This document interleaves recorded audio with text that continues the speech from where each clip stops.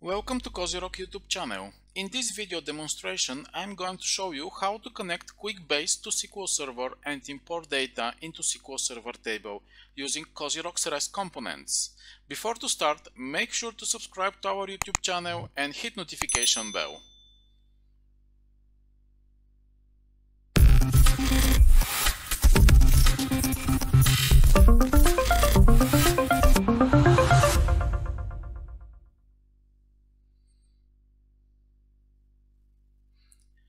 For this demonstration, we have a list of 10 contacts, which we are going to import into SQL Server table using COZYROC's REST components. Run Visual Studio under Administrator account, create new Integration Services project, and click on Data Flow tab to add a new data flow task. From left side panel, scroll down and drag and drop REST source component on canvas.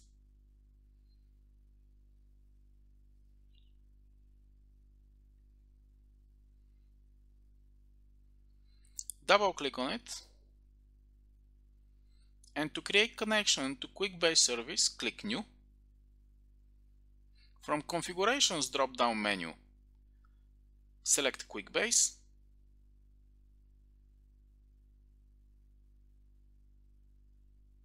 and here we have to provide realm. You can find yours here access token and application name. You can find your access token under your username, preferences, user tokens.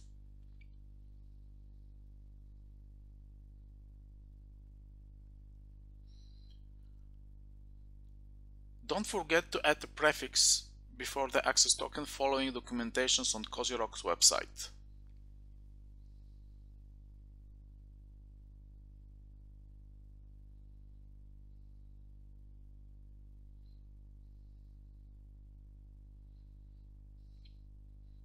And copy access token together with the prefix.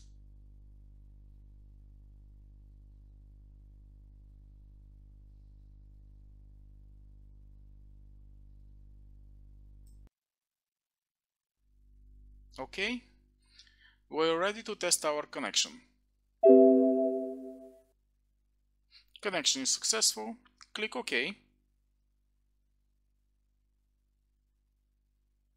And from resources drop down menu select contacts click on columns tab to see available columns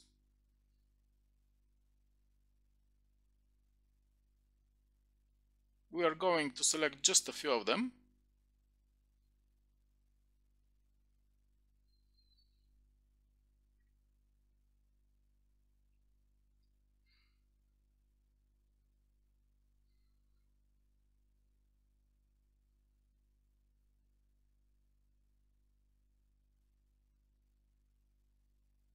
and click on Preview tab for data preview. Here is the list of records.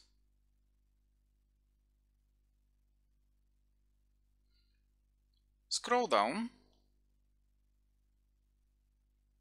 and drag and drop OLEDB destination component on canvas. Select source component and drag the blue arrow connecting source with destination. Double-click on destination component and configure your database connection.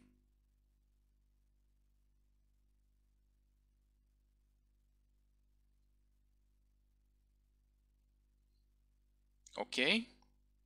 Double-click again, select Mapping tab and map source with destination columns. Click OK and before to execute the package, let's see what do we have. We have a list of 10 contacts which we are going to import into SQL Server table. And we are ready to execute the package.